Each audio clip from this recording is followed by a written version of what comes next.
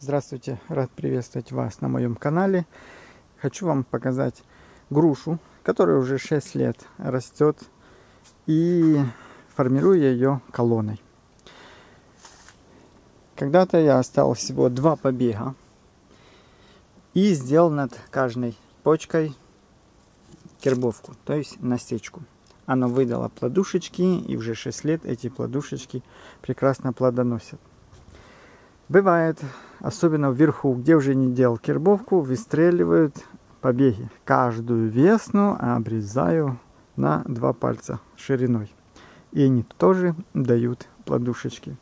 Так удерживаю в колоновидной форме обычную грушу. В данном случае это груша Виктория привита на айве. Какой айве? Дикой айве. Просто идя по дороге, увидел айву, взял веточку, укоренил и привил на ней грушу. Тоже касаемо и вишни. Вишня ночка в начале, в первый год укорачивалась и летом, и весной. Сейчас же будут укорачиваться только ранней весной, поддерживая колоновидную форму. Она нужна для опыления. Это поздний сорт вишни, купленный в магазине. И напоследок хотел сказать о яблоках. Прекрасные крупные яблочки.